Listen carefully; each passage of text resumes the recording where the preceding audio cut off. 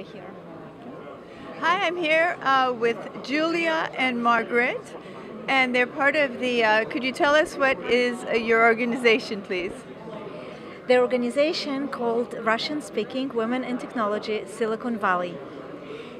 We uh, account uh, for 2,400 local women.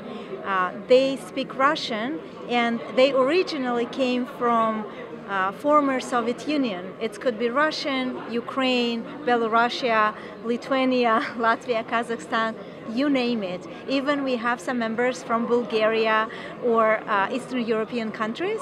But what unites us is uh, the same roots many, many of us have our mothers who were engineers, so they served as a very, very good role models, which is pretty much unusual here in America, but we experienced that.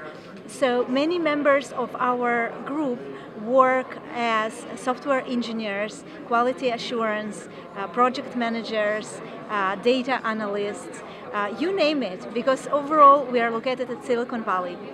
And were you the founder of this organization? Yes, uh, my name is Julia Minkovsky. I'm a co-founder of this group. Wonderful. And Margaret, how are you? How do you participate? How do I participate? So for the last two years, I ran the external operations for the group and helping Yulia to promote the group. Uh, what we do and what why we're here. We have a social platform and we try to support each other. We try to move each other forward, to educate each other. Uh, we haven't we had so far 32 events. Sometimes it's a fireside chat that we invite the speakers. Sometimes companies are hosting us, like Facebook, Google, Walmart Club. Wonderful, thank you, and good luck to you. Are you recruiting new members here at the, at the uh, event? Absolutely. If you're a woman, you're Russian speaking, or you just want to come and help us, if you have a job that you want to hire for, you can talk to us as well. Fabulous.